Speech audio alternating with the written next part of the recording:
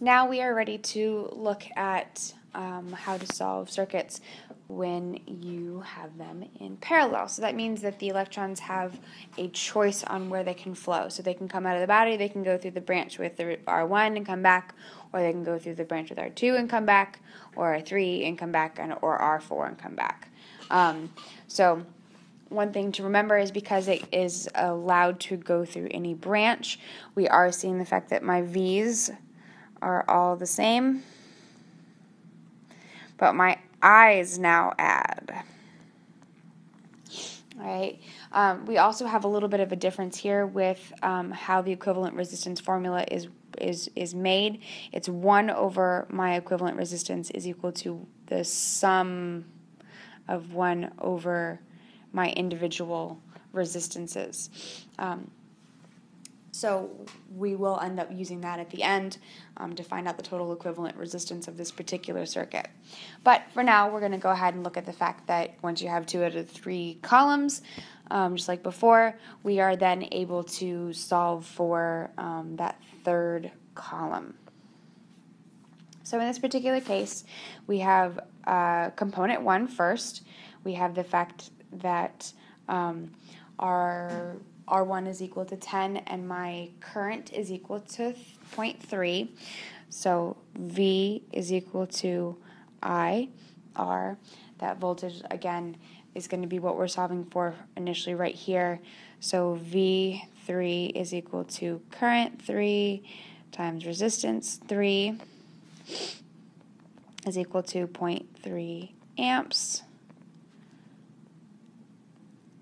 times 10 ohms gives me 3 volts. As a result, we are then able to find not only the voltage across uh, resistor 1, but actually across all of the resistors in our, our circuit, which goes ahead and takes care of a lot of stuff in one fell swoop. Now that we have the voltage all the way down, we actually are then able to solve for the currents through branches 2 and 3. So using Ohm's law, we have the fact that the current through 2 is going to equal the voltage through 2 divided by the resistance of 2. We're going to say the same thing for 3. So current of 3 is equal to voltage of 3, oops, divided by resistance of 3. I got some typos over here. Um, and again, we're just going to plug and chug. So my voltage through 2 is that 3 volts divided by 3 ohms tells me I have a current of 1 amp. Whoops, right out of space.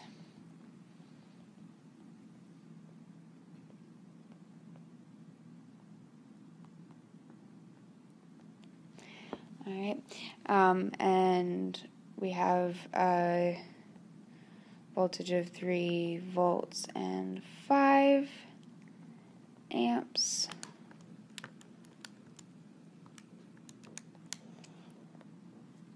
Point six.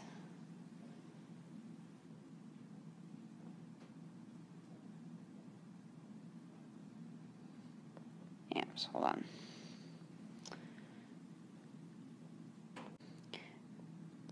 Oops, sorry. 3 volts divided by 5 ohms gives me 0.6 amps. I apologize. All right, so that goes ahead and answers um, what we have going on here 1 amp, 0.6. All right, um, we can go ahead and find the total current. All right and the total current.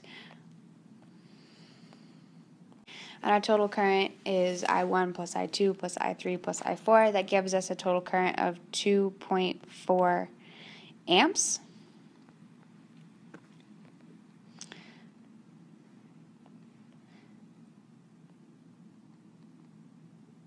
Oops. All right, so we are able to find uh, the total resistance from there. However, I'm going to go ahead and find resistance for, for 4 first. and my resistance for 4 is going to equal that the voltage of 4 divided by the current of 4. Remember the voltage is the same for all of them, so that's that 3 volts. The current I found through, I was given through 4 is half an amp. Um, so we do get the fact that the resistance for 4 is 6 um, ohms.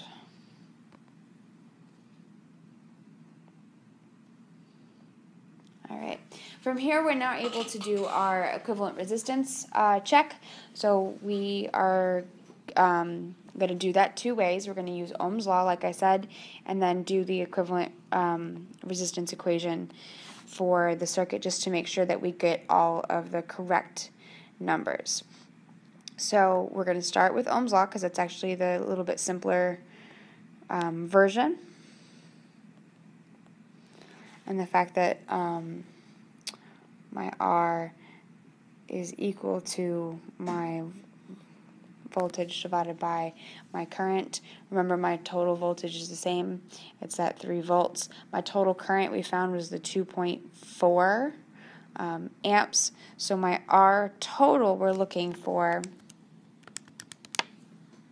is 1.3 ohms.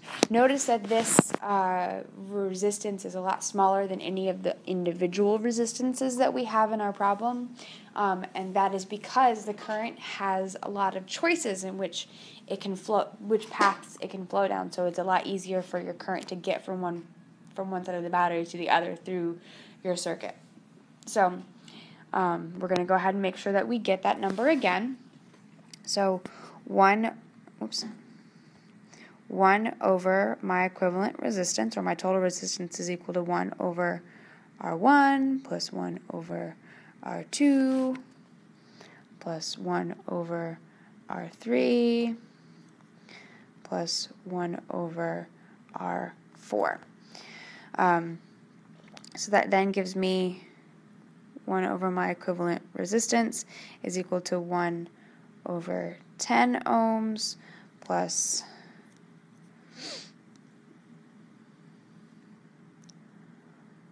one over three ohms plus one over five ohms plus one over six ohms. All told, this gives us um, 4 over 5 ohms. But remember, this is my 1 over my equivalent resistance. I'm not interested in 1 over the equivalent resistance. I'm interested in the equivalent resistance itself. So what do we do to get the answer? We flip it. So R equivalent is equal to 5 ohms over 4 or 1.25 1.3 ohms.